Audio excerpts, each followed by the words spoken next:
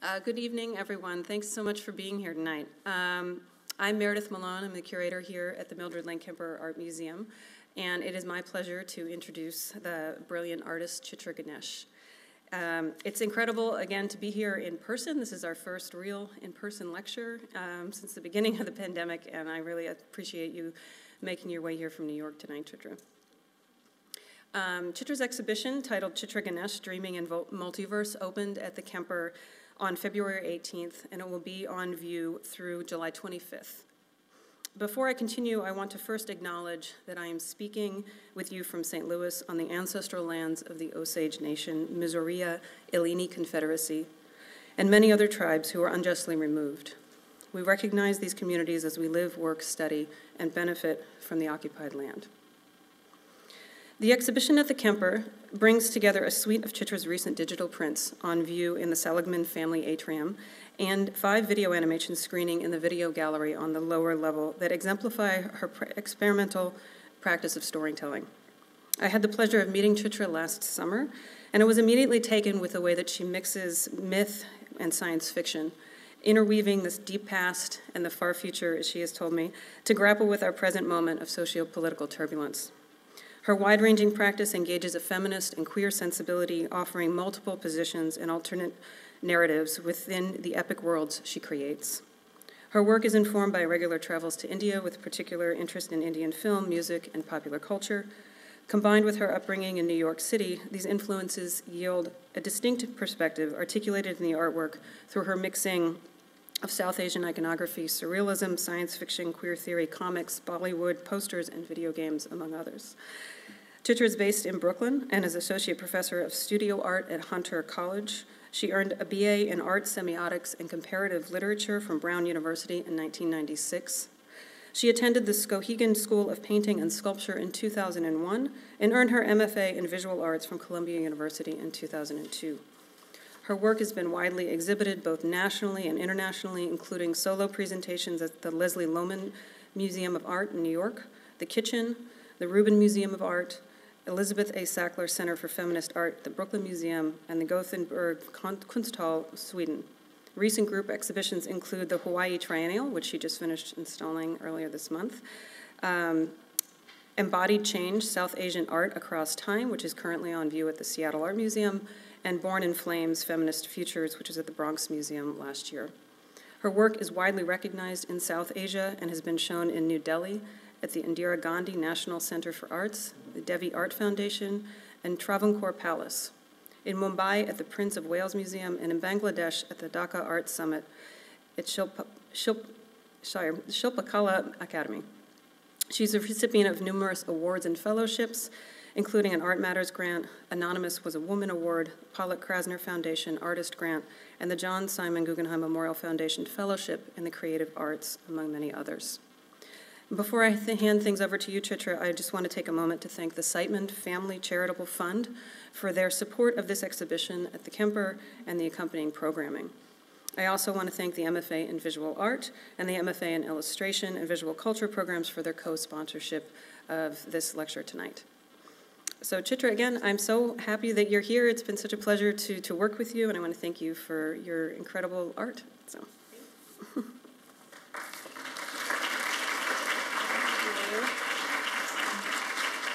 Uh, good evening, everybody. Uh, wonderful to be here and to see you all here. Thank you so much for coming to attend this talk in person. Um, I'm delighted and honored to be showing my work uh, in this museum and for your attention tonight. Um, I just realized I may need the clicker, or is it somewhere? Okay. Um, so I'm going to, oh, thank you. Um, so I'm going to talk about a little bit about the influences and development of the bodies of work that you see here in multiverse dreaming, including the comics and a number of animations downstairs. And then I look forward to speaking with you all afterwards um, for a question and answer. I want to thank Meredith, um, the Kemper Museum, the MFA programs, and all of the curatorial installation, education, facilities, security, all the teams at the museum for making this possible. So thank you all for your hard work. Um, okay, so I, uh, this is, in this opening slide, you can see several of the themes that weave through my work that are dear to my heart, um, namely an interest in uh, graphic and print languages, um, the way in which we can uh, activate new models of storytelling and of narrative from familiar visual forms, such as comics, uh, the integration of text and image, and creating new possibilities and subject positions within these worlds. Um, should the people who are standing outside, should I wait for them to come in, or is that, no, that's not related. Okay.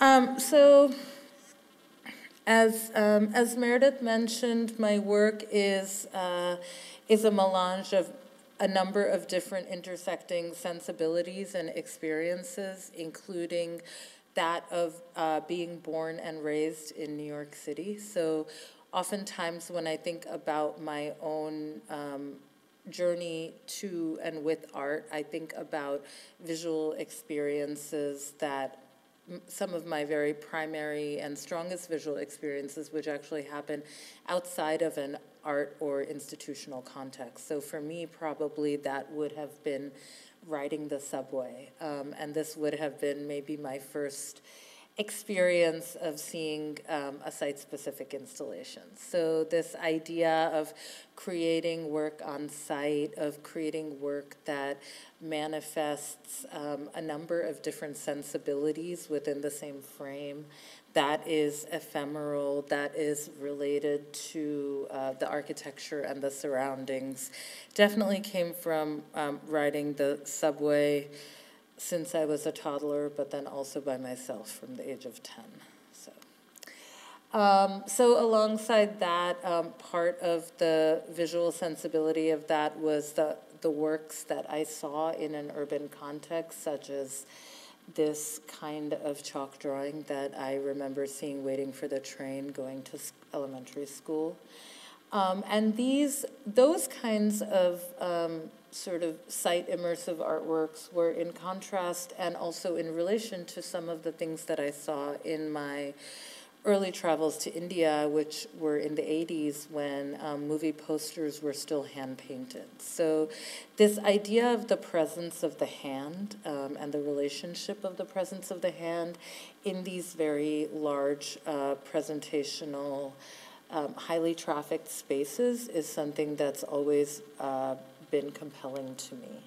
So I really appreciated the way in which there were so many different um, subject possibilities, and especially um, feminine subjectivity possibilities within the narrative framework of Bollywood, but also within the attendant visual culture, like the posters and the costumes and some of the theatricality and the melodrama and the, the sensuality and the excess of the design of these kinds of spaces.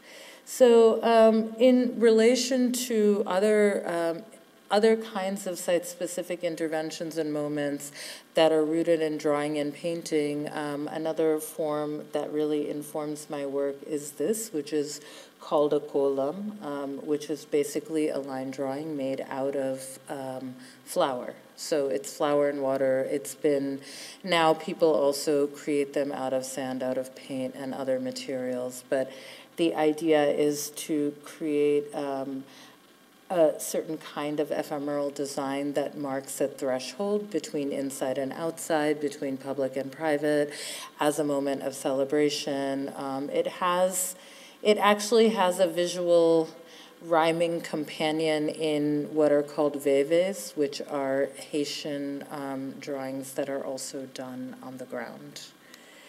So, in, in relation to these extremely vibrant, alive, contemporary, animated um, relationships to art making and sight, I was really interested to think about how these moments also were grounding themselves in private spaces and also in the everyday. So this is another kind of influential image for me. This is a home altar, so you can see how the iconic and the everyday are intermingled here. So the iconic as in the deities, the everyday as in the flower petals, the rice, um, the other kinds of everyday materials that are part of this frame, even the matchboxes, um, the oil wicks, all of that. And thinking about the way um, thinking about how to combine these materialities and these icons is very much a part of my installation work, but has also moved into the way that I um, build the visual worlds that I am in in the animations as well. Um, so alongside that, I'm I'm really happy also to be here because of the amazing um, history and the relationship that this university has to printmaking and um, print culture because those are really important aspects of my work as well. Uh, so here's an image. I noticed how icons themselves were shape-shifting travelers, not just across time, but also across media. These are two images of Kali, uh, Durga, two manifestations of the sort of divine feminine energy. This one on the left is a Kalighat painting, so that's done with gouache, watercolor, charcoal on paper. And this one on the right is a print, which is actually a party invitation for um, a puja that my family went to every year. So the way in which the epic and the mythic and the everyday um, interweave themselves has always been something that's been on my mind. And here are some more examples of that, um, of the kind of way that that icons were not just icons and representations, but they were also everyday objects that we interacted with, and that was really important. So all of that, all of that um, sensibility in the home, the the materiality of the everyday was in stark contrast to the kinds of representation of South Asian femininity and art that I saw in museums and in mass culture when I was growing up in the 80s. I know things are quite different now um, in the 70s and 80s. So a lot of what I saw of, um, of South Asian female forms were very much entrenched in a deep past that did not seem connected to ongoing cultural production. Um, in relation to that, the kind of imagery um, and the confusion and the, um, I guess, the obfuscation and the ultimate erasure of certain kinds of identities was also part of that. Uh, imagery uh, that I grew up with. And in relation to that, I thought a lot about where can we find new possibilities that are more nuanced and um, also bring bring more possibility for joy and exploration and thinking in a different way than some of these images that we that I saw of how the Western mass mediated imagery depicted um, South Asian subjectivity. So like for example, oops. So for example, this cover is from 1985 and this one is from 2010. So you can see that in the 25 years there actually hadn't been that much evolution in the, the way these representations were thought of. Oh, I'm going backwards, sorry about that. So in in contrast to that, there was there felt like there was a lot of possibility in contemporary culture and in visual forms that were outside of the art historical canon, and so those are some of those that I work with, including comics. Um, so this is the first this is the first series of comics that I um, I created. This is part of a series, much like the series you see here, Multiverse Dreaming. Um, this is called Tales of Amnesia. So I came back to, I had always been an avid fan of comics, um, and I'd always grown up reading them, seeing comics and cartoons and I came back to them with my these this is how the original comics looked um, in part this was in relation to my trips to India in the summer where the summer in India was actually a time when people were still going to school. So um, while my cousins were at school, I would be reading their comics. And these comics were made, um, were written in English because they're also in part for a diaspora and they're also in part for um, a nation of the Commonwealth. Um, so, and the legacy of that. So, Looking at these comics with um, young adult eyes, I noticed that there were certain kinds of imagery that was there in the comics, a certain attention to eroticism and violence that was embedded not just in these comics, but in a lot of children's stories and fairy tales. And I was starting to think about that and how to sort of draw some of that latent imagery that was there out of the original comics and thinking about how this comic language, which is something that I grew up reading, actually um, hundreds of millions of people grew up reading um, at the same time because a few people in India is 120 million people. And also, um, these comics were read over the period of about a decade or a decade and a half by people who were of my generation and the adjacent generation. So, thinking a lot about the possibility of um, this kind of a childhood visual imagery and encounter as being a very potent. Uh, collectively held image bank that many of us might connect to.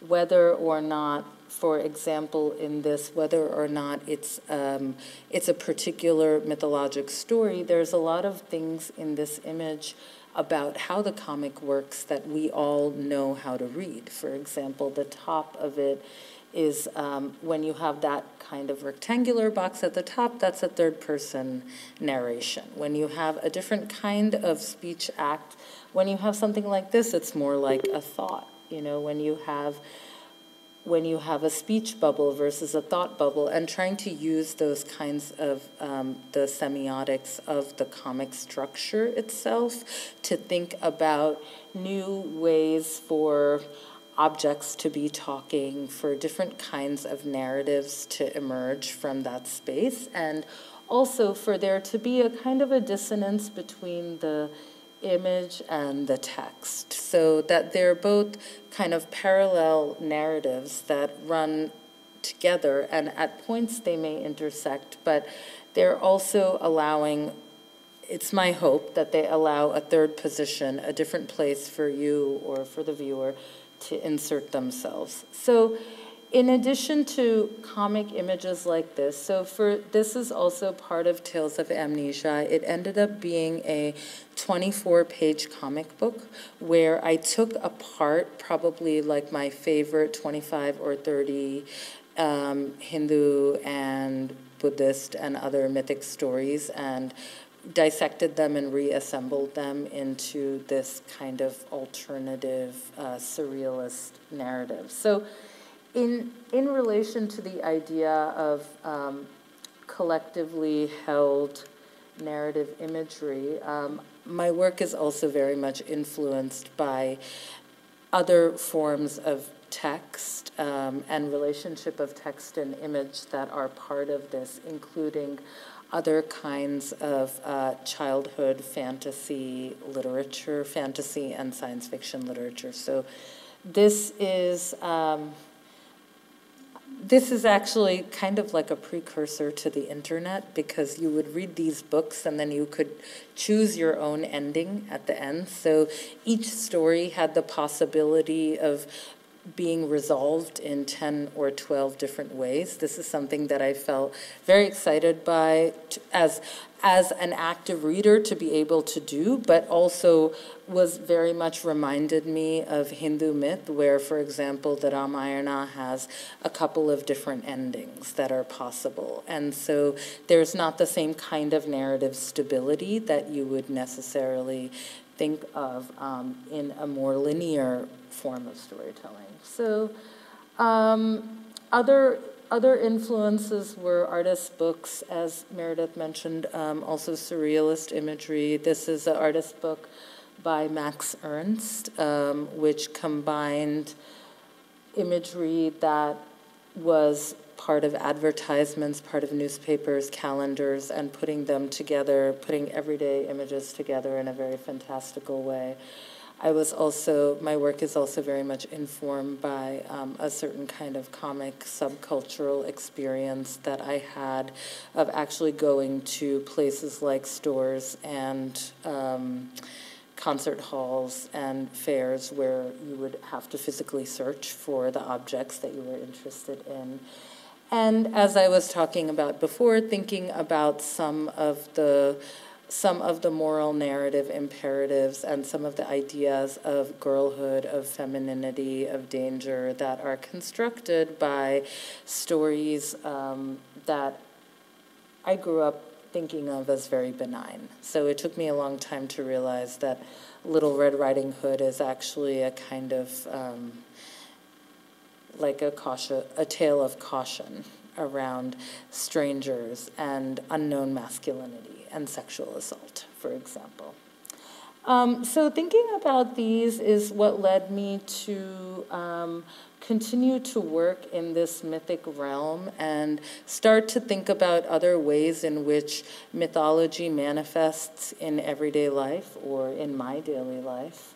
Um, and a lot of these manifestations, so this is another series called She the Question. This in this work, I really began to look at the visual connections between myth and science fiction, as well as the larger conceptual connections. So, um, another thing I love about the comic form is how elastic it is. It has a very broad sense of address. It can command a large space because of the way the color and the form work. Um, it can also be and it can also occupy this kind of a billboard space and interrupt advertising. But it can also be um, something that you look at in your lap or in your bedroom or while you're in the bathroom. So there's a combination of a public and an intimate way of engaging with this material that um, that's exciting to me. Let me go back here.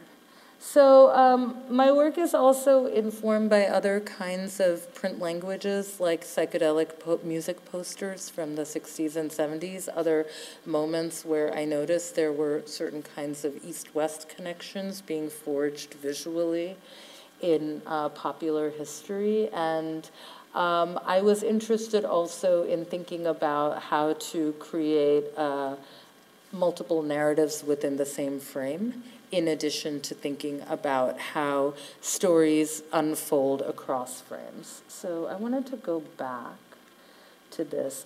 Another thing that I'm really interested about in comics is this idea of the gutter.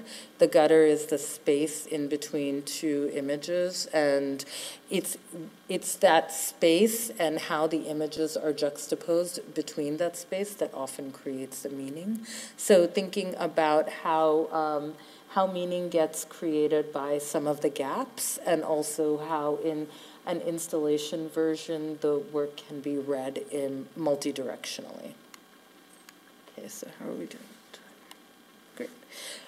Um, I'm going to move forward to um, looking at some of these other images. So these are some more works where you see the relationship between myth and science fiction. That UFO kind of shape in the top is actually based on the architecture of the Parliament of India in New Delhi. It's just inverted and spinning around. Um, and some of these other cave-like images are also based in um, historical monuments. So, one of the things I was really interested about in science fiction when I was younger was the way in which difference and alterity was embedded into the narrative. So, it wasn't necessarily about the race or identity of the characters that you see here, but it was it was a way in which that multiplicity could exist within a larger group or community structure, which was one of the first places that I uh, actually saw representations like this. I was also really interested in how both myth and science fiction use this idea of cyclical time, so that time and progress isn't something that goes from this point to this point, as we see in the past two years or the past 10 years or your whole life alive, um, but that things go in a much more cyclical and circuitous fashion. And I had this aha moment about this when I was watching. Um, Battlestar Galactica years ago, and I realized that the very end of it is also the very beginning. And I, I looked at um, I looked at the Odyssey and I realized this idea of starting in media res in the middle of everything, in the middle of the story, is also the way Star Wars is structured as well. So I was thinking a lot about that. Um, I want to, so here, these are some more images that are part of the visual vocabulary that I use that you can see in bits and pieces recurring in multiverse dreaming. This moment of combing hair is one of those. It's a kind of moment, a quiet moment, a moment of reflection, a daily ritual, something that. Um, a moment of pause or something that we don't necessarily see publicly or presentationally is one example of that. Um, so I wanted to talk about, now I'm going to talk about the works that you're seeing in this show. Uh, so there's five animations downstairs that are part of, um, and three of those are part of the Scorpion Gesture, which was a suite of animations that I created that was initially commissioned at the Rubin Museum in New York, and they were very much interested in looking at how a lot of the very, very old Buddhist narratives, some of them quite ancient, had futurity and speculation embedded into those narratives. So um, the, the focus of my research for these projects is a figure called Padmasambhava, who you see here, and he was called, he's um, popularly known as the second Buddha, but this is the guy who brought Buddhism from South Asia to Tibet. And part of what I noticed in his story is that in his biography, it is written that every 300 years, new literature and new texts will be unearthed. So, this idea of future and speculation is already embedded in his life story. And so, I was very interested in that and in thinking with a lot of these objects that are in the museum to think about how we can harness some of these elements to connect something that feels like it's very much tethered to a past that doesn't have relevance to us right now, and how those can be reactivated in a contemporary moment.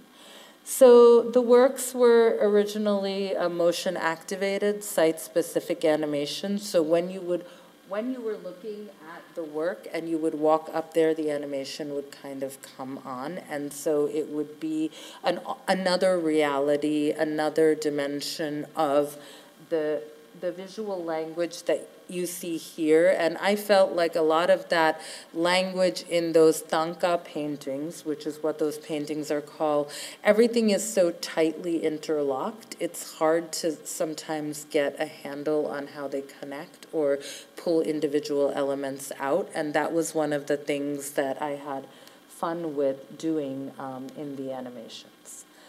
So here are um, a couple more stills. The animations were in relation to objects in the Rubin Museum's collection. Something I really enjoyed about working with these objects is that they were thought of as objects of art rather than historical artifacts. And I think that that was an important differentiation for me because they were objects of art that were circulating with and among other objects of art rather than archaeology, and with and among contemporary art as well. Um, something that I also really love about the Menil collection and how that place is hung as well. Um, so I'll just show a couple of the animations now. Um, so wait, we're gonna stop in 10 minutes, right? Probably 6.45, okay.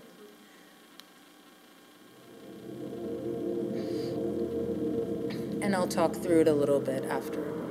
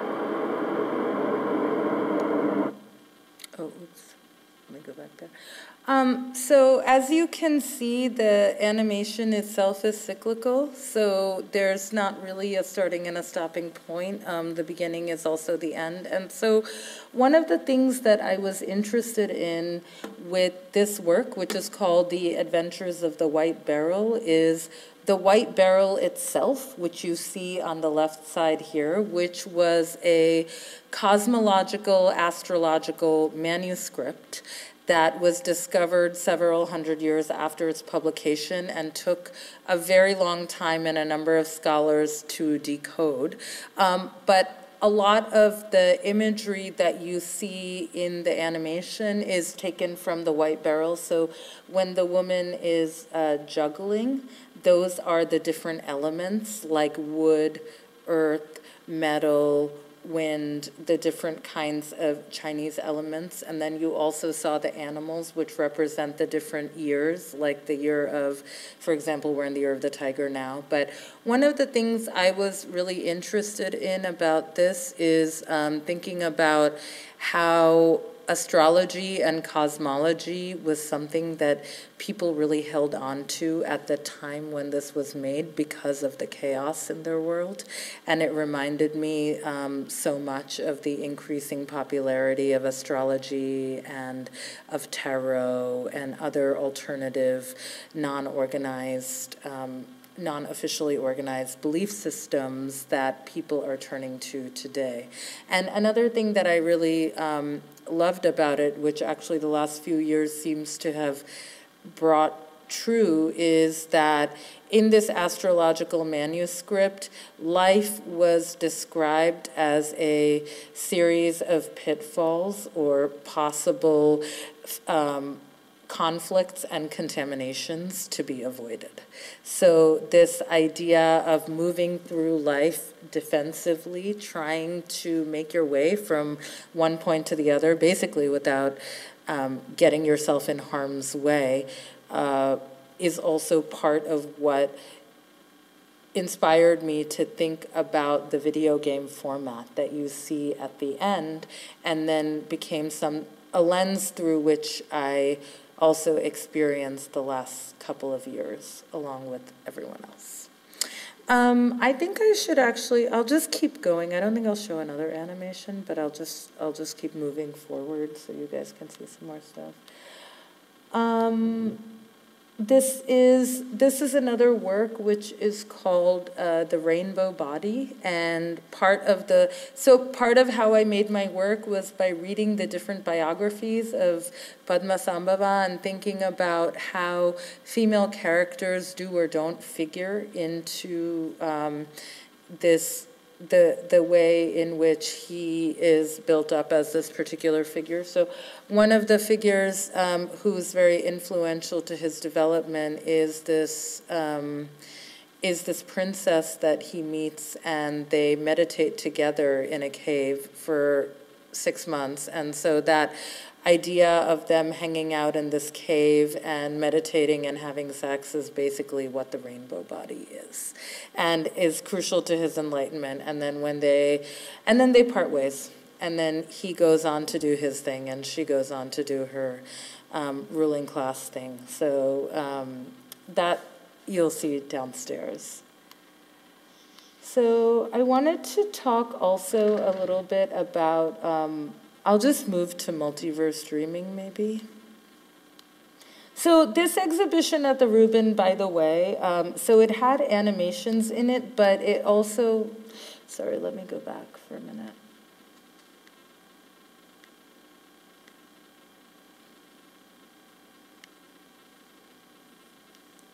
Okay. Um, so the animations were also interested in thinking about how visual language of science fiction, um, both vintage and contemporary, informs our ideas of the future and futurity. So I wanted to. Um, so I created a number of prints and works on paper, and I also was looking at science fiction movie posters from outside of the US and thinking about how those were part of this visual language that I was thinking about, and part of that um, idea of how futures can manifest in multiple iterations depending on where in the world you are or what your position is. Um, I also commissioned so I tried to get some of these older science fiction posters into the museum as part of my exhibition, and they were so expensive, I felt that a better use of the money would be actually to commission younger artists who might not have had a museum show before to create their own science fiction movie posters. So that's part of what you see here in that show. The Scorpion Gesture was also shown in Times Square, so um, it was really amazing to see how this kind of animation language interrupted the advertising language that you see in the digital billboards that dominate your perspective when you're at street side there.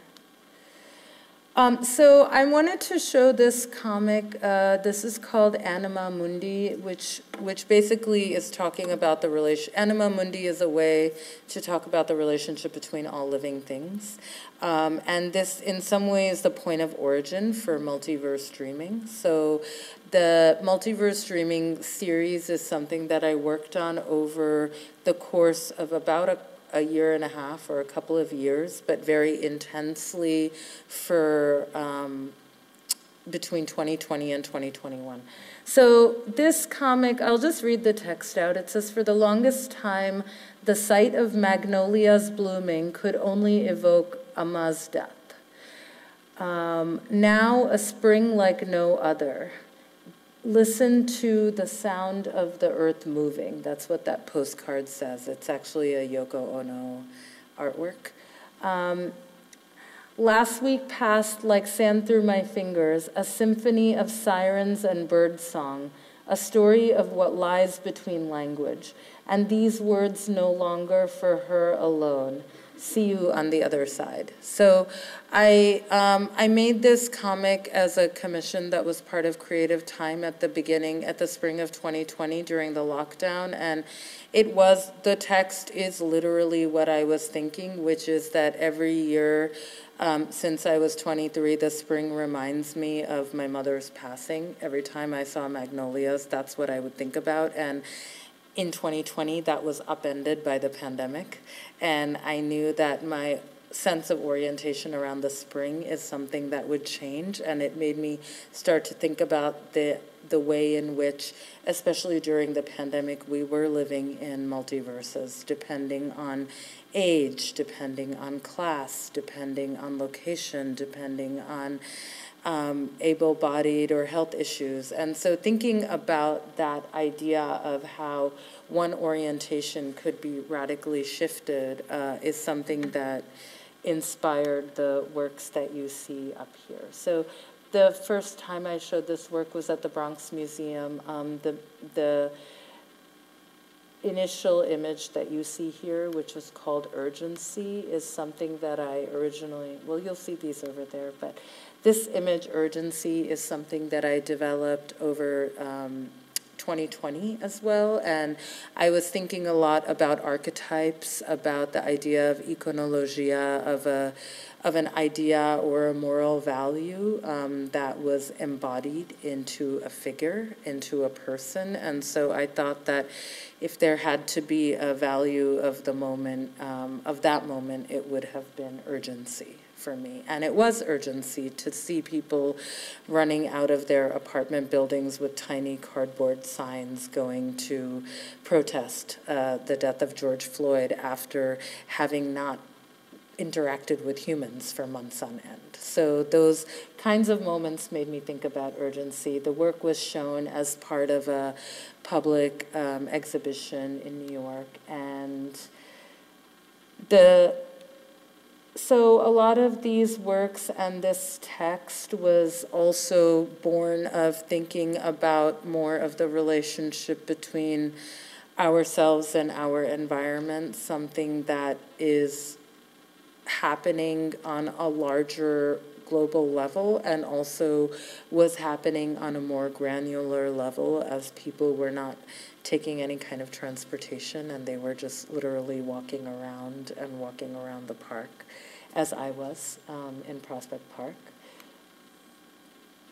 Um, and I think another thing that was another way in which this work became a, a, kind of a compass for me over the time in which it was made was it also um, bridged. I, I created the work before, during, and after my father's death, uh, which also happened in 2021 during the pandemic. So the, um, the sense of these images being a container for all of these different multiverses that were happening that were happening for me but also the radically different experiences that others were having during the time also informs, um, informs the work. So here this says, That night it seemed a mountain had disappeared from its station, walked away from the horizon once and for all. That night time unfurled itself like a parachute, extending from her fingertips, fluttering like a torn sail.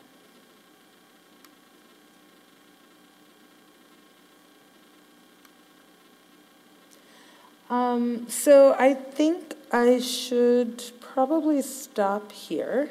Um, and then we can keep we can keep talking amongst us. I would love to hear from you guys if you have any questions or thoughts, um, either about this work or about other things that I've presented and other aspects of my practice. Uh, I would love to hear from you. So thank you so much for your attention.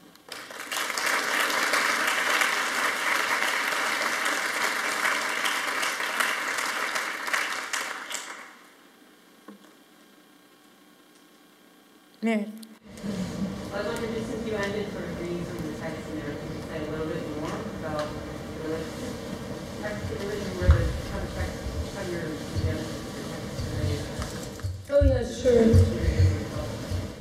Um, so in some cases, so I I also um, writing is an important part of my work. Not just writing, but um, translation and the possibilities and the shortcomings of translation. So that's in part growing up um, bilingually and being trilingual, but also in part in relation to studying translation and poetic translation and thinking about the idea that um, there's never a one to one relationship between the original and the translation, but rather that the translation itself is like a collage of sorts, of just trying to assemble a new way of looking at this together that is comfortable in the language into which it's being translated. So the there's like often a slight dissonance between the image and the text, unlike in traditional comics where the text really orients you to understand who the characters are, what they're doing, what the before of that was, even if that's through a sound effect or something like that. And so that um, that sense of having um, more interior monologue um, and having more stream of conscious or diaristic writing or thinking is part of my approach to text, which is uh, poetic also. So, in some cases, there um, the work, the image, and the text. Let me see if I see. Oh, no, we're going in a wrong direction. Oops, sorry, it's very wrong. Okay. Um, in some instances, like with this image, the some of the text had had existed in um, little snippets before the image, but the text really came together when the layers of the image world um, pulled themselves together. And then in other instances, the text had been more of the inspiration for the image itself. And then in even other works, um, like this one, it didn't feel like it needed uh, text at all. So there are some images where, because the other images have text, I hope that it also feels punctuated by silence um, in a different way. So I just pulled these two up because I realized this this idea of like the combing of the hair and the thinking about things at night, which is something that I did as um, a child. I would have this I would have this fear that after my hair was combed and I was sent to bed, that my parents um, would be in the closet as skeletons. So it's actually just literally something that then came into my work which I hadn't thought about in a long time. And um, in this case, the text is um, is sort of in relation to myself, but is also thinking about a tradition of poetry and songs where often the name of the author is embedded into the text. Um, it's also very common for myth as well, like the name of the author or multiple authors is there inside, uh, inside and at the end of the text. Um, yeah, so. Yes.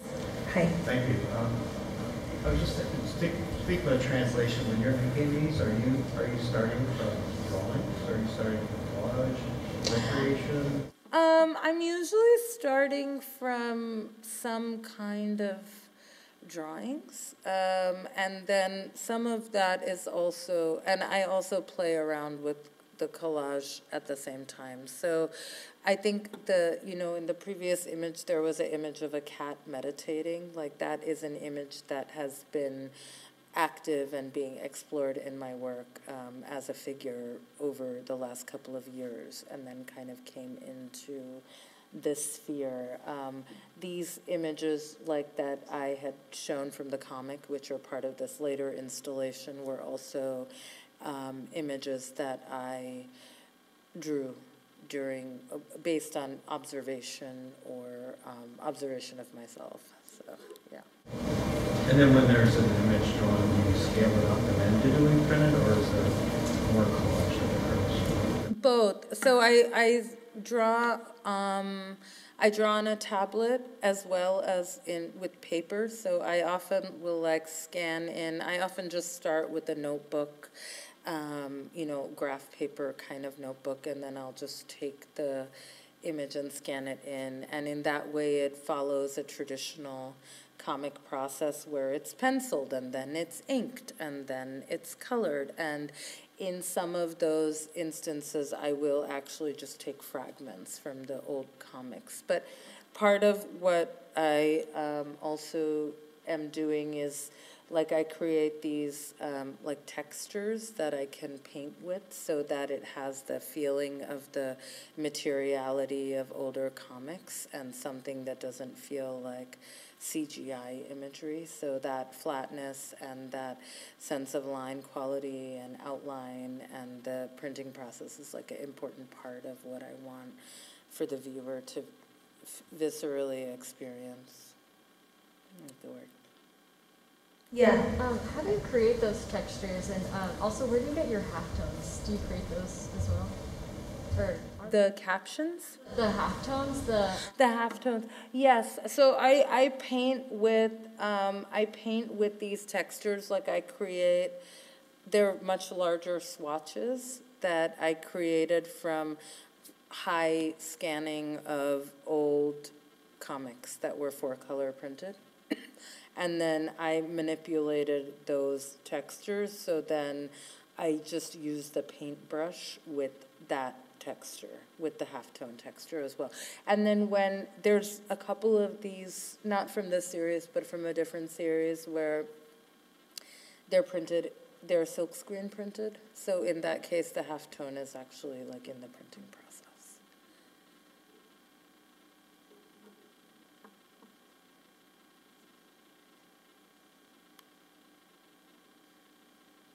Uh, any other questions? Yeah. Uh, thank you so much for this talk. It has been really great. Um, I noticed that in a lot of your subjects there's like cuts or like scars. Um, and in the, in the animation from those scars kind of enters or appear another figure. So can you tell us a little more about uh, your understanding of that uh, scar, that cut, the, the, the relationship between pain and maybe birth? Yeah, I think that um, so one of the one of the ways in which I think about that, or that made me think about that, was thinking about how in there are so many different creation stories where the figure of the mother or the father was taken apart to form the world.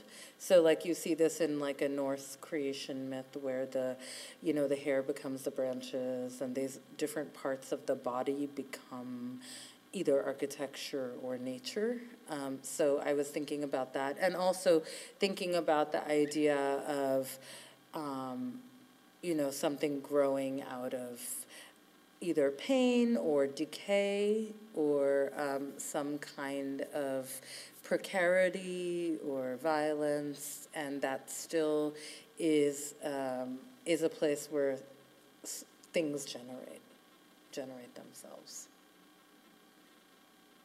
Yeah, hi. So a lot of the Amar Chitra comics, they show around like brutalization of women or of marginalized castes and things like that. So how do you respond to that? Can you say that again? A lot of the Amar Chitra comics, uh, they show a lot of brutalization of women or like people from marginalized castes and things like that. So how do you respond to that or deal with that in your work? Um, so I think that one of the things that I was interested in is like how women are often catalysts to move the story forward. Like, you know, for example, Draupadi, or for example, Rama losing Sita. Like these kinds of things, like the somehow the loss or the threat of the loss of the woman is a way to move the narrative forward. And so for me, one of the things that I was thinking about was also how those characters would not be excised from the margins, but would be like actors and protagonists in their own right within the comic. Um, and I think I thought also a lot about how um, which it, it doesn't a- apply as much in my work because m- many of the depictions are of women and femininity, but it also led me to think a lot about how certain kinds of facial features, facial hair, skin tone are actually um, inscribing like caste and class in the original comics. And so part of that is also what I was interested in moving beyond.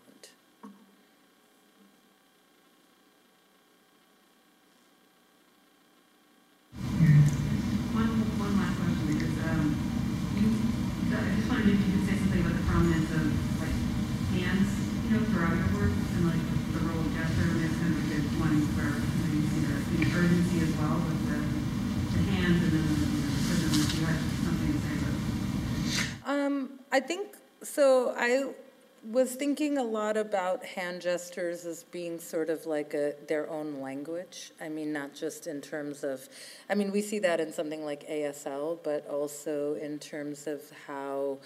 Uh, something like a mudra uh, is used in, which is a, a hand gesture that has a specific meaning, would be used in um, performance, in dance, um, in theater, and would have a language of its own. So thinking about the importance of that, but not necessarily using those gestures that are already existing, but creating a new sort of language for that. Like this also, I think about in that same way.